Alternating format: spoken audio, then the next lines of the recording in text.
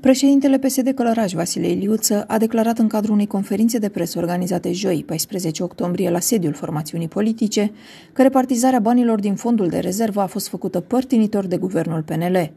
Sunt primării PSD care nu au primit niciun leu, și anume primăria Ulmu, Unirea și municipiul Călăraș.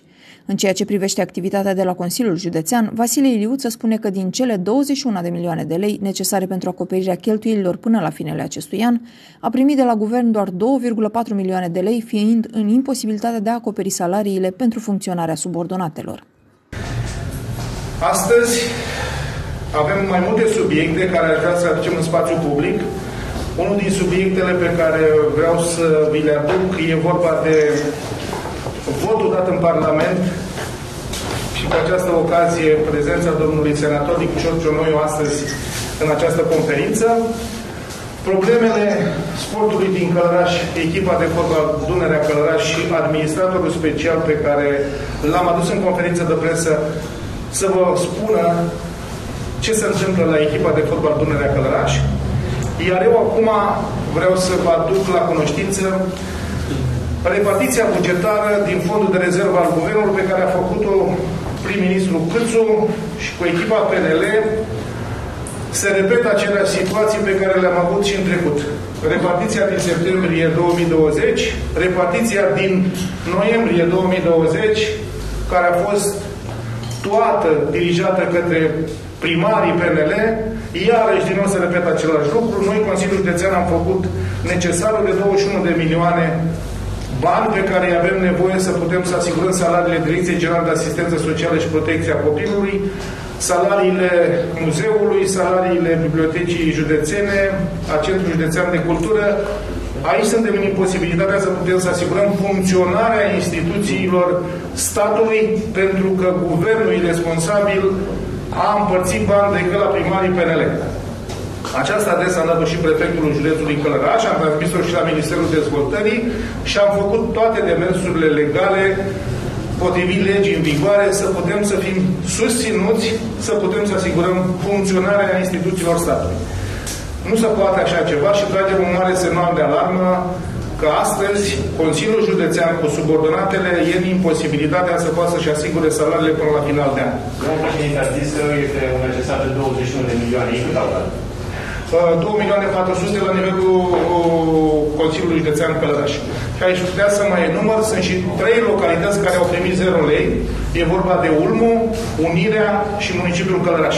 N-au primit nicio sumă pentru funcționare. Iar restul localităților au primit 500 uh, de milioane vechi, să vorbim în bani vechi, 500 de milioane vechi, iar localitățile PNL au primit 5 miliarde de lei pentru funcționare.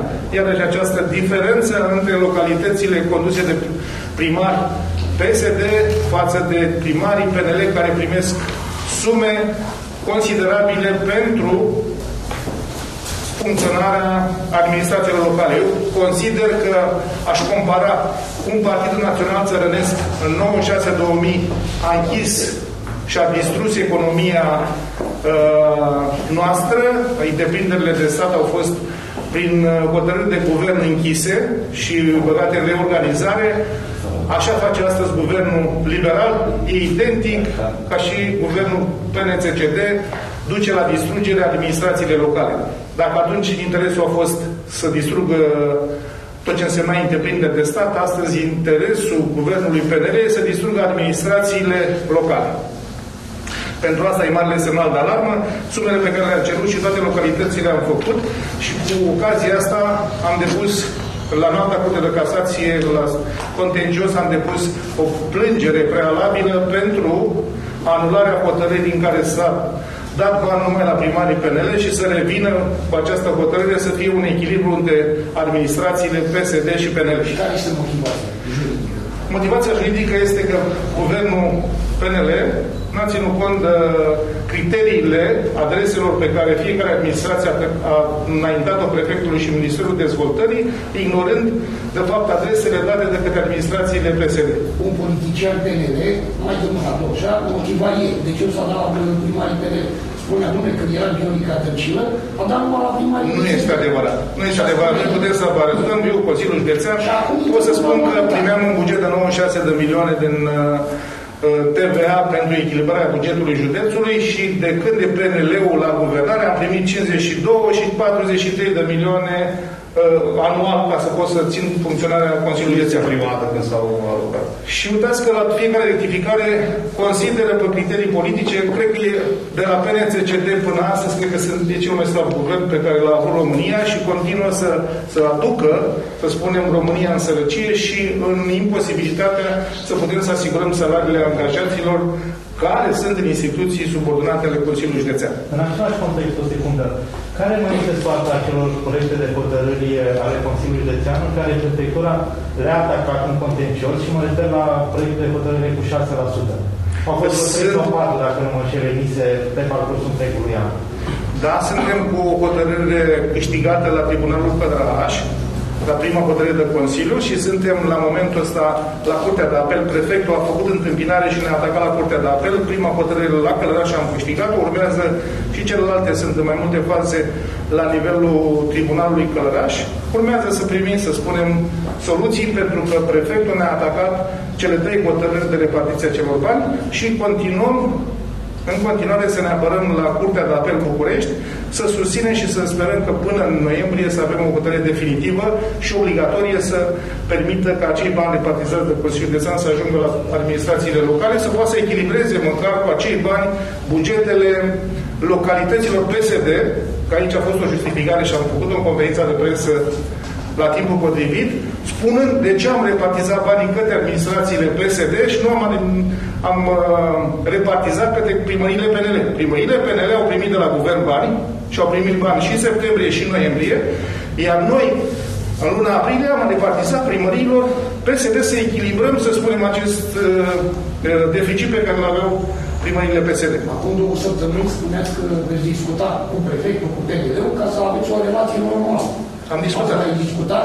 Am discutat, am avut o întâlnire și am discutat că va fi un echilibru și devenim și noi la suprahotărârii de Consiliu că vor face ei un echilibru să ne aducă sumele de care noi le-am reparat, să ne aducă mai multe sume la rectificarea bugetară care a avut loc și dați că surpriza a fost atât de mare încât ne surprinde.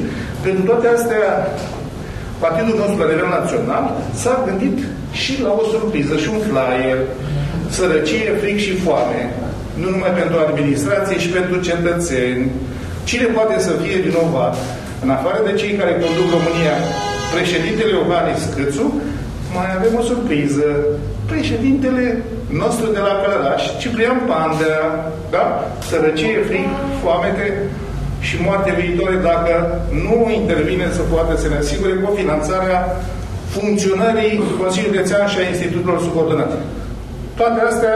Dar nu nu e poza, nu dă și poza. Îi face și reclamă? Nu-i face reclamă, îi pune decât numele. Da, toate astea se datorează unei, să spunem, guvernări proaste,